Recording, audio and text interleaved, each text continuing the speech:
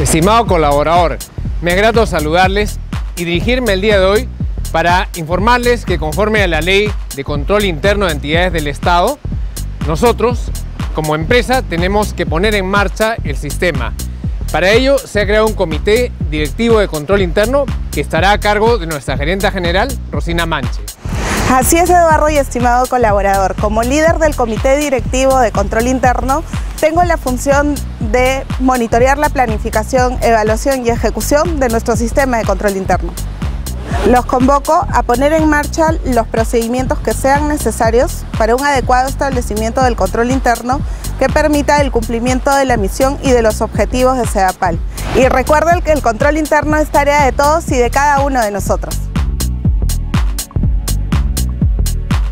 Para entender un poco más acerca de lo que es el sistema de control interno, debemos indicar que este sistema es un proceso efectuado por el directorio, las gerencias y todo el personal de la entidad, diseñado para proporcionar una seguridad razonable en cuanto al logro de los objetivos relacionados con las operaciones, la elaboración de informes y el cumplimiento de normas.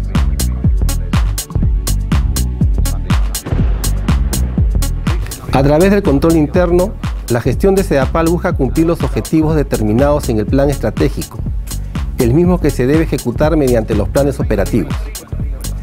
Para lograrlo, los gerentes y jefes de equipo son los encargados de revisar periódicamente los procesos, actividades y tareas a ejecutarse a fin de asegurar su aporte al cumplimiento de los objetivos.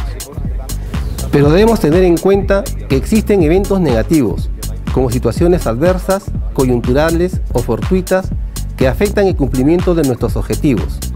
Para ello es necesario desarrollar un sistema de control interno para identificar los riesgos que podrían afectar la gestión, valorarlos adecuadamente y adoptar acciones preventivas para mitigar sus posibles efectos.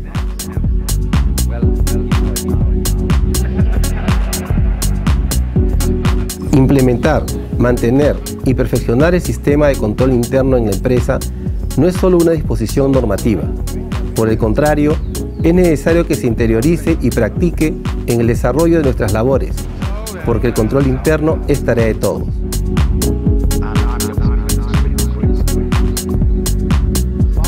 Hasta diciembre del 2012 hemos logrado un nivel 3 de implementación, lo cual significa que el sistema de control interno se encuentra establecido en CEDAPAL, pero aún nos falta alcanzar el nivel 4, que es cuando el sistema de control interno tiene el grado de avanzado y cuenta con un proceso de mejora continua. Y el nivel 5, cuando el sistema de control interno tiene grado optimizado y forma parte de la cultura organizacional de la empresa. Amigos colaboradores, ya lo saben, lograr el establecimiento del sistema de control interno para cumplir los objetivos institucionales dependerá de todos nosotros.